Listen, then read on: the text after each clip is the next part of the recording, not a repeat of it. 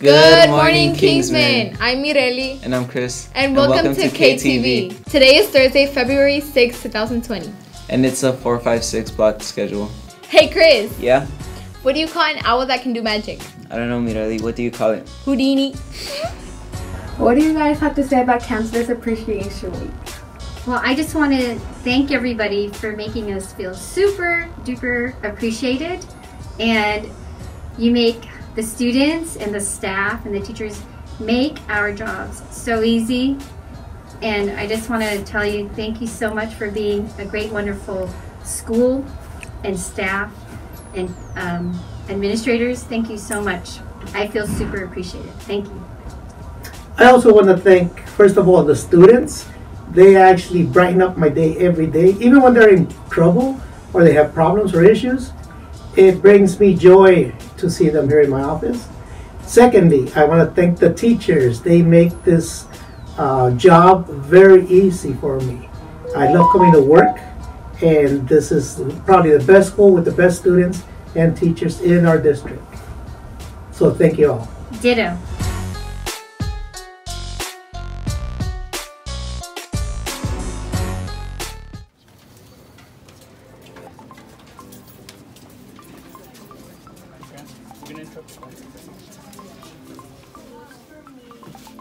Oh, little announcement is that your teacher, Miss Graham, is has been nominated by her peers, and our staff as our Teacher of the Year. So we just want to go ahead and congratulate Miss Graham.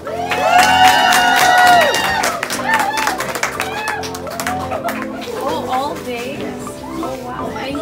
And so we have a little something for you as well. Okay.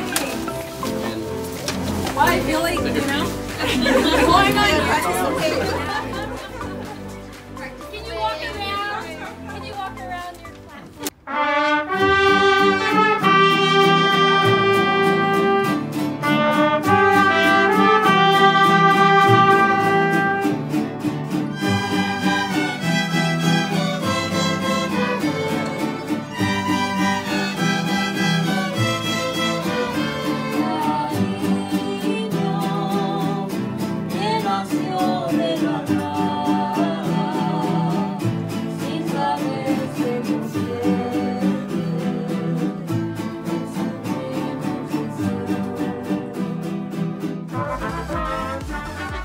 I'm really happy and excited uh, to be nominated and selected as National City Middle School's Teacher of the Year. Um, and I just want to do a shout out to my department. All the English teachers work super hard uh, for all the students here, and we work together as a team. And I feel like they make me look good, so that's why I was able to win Teacher of the Year. So just shout out to my English department and uh, and to my students. My students help make me be a better teacher. So thank you.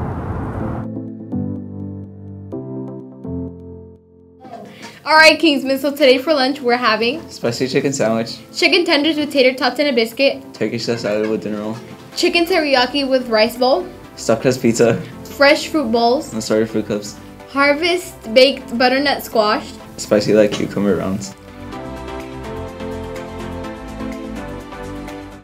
On February the 6th, uh, our class competition winners uh, will be celebrating uh, with their classes uh, with pizza parties and ice cream parties. Uh, as you know, Ms. Marug, Mr. Ochoa tied for first, and in third place was Ms. Hayes' class. After school, we always have tutoring in here. On Tuesdays and Thursdays, we have a special math tutor from San Diego State that comes in and helps students uh, with math homework specifically. Um, so feel free to come by. And again, we're also open every morning, Monday through Friday, from 6:30 to 7:30, and then after school from 2:50 to 3:50. Uh, that's it here from the library. We look forward to seeing you, and we will be talking to you soon. You should be at around 15% of your AR goal at this time. See you in the library. Thank you. There's an epidemic spreading. Scientists say it can change your brain. It can release dangerous chemicals like formaldehyde into your bloodstream. It can expose your lungs to acrolein, which can cause irreversible damage. It's not a parasite, not a virus, not an infection. It's vaping.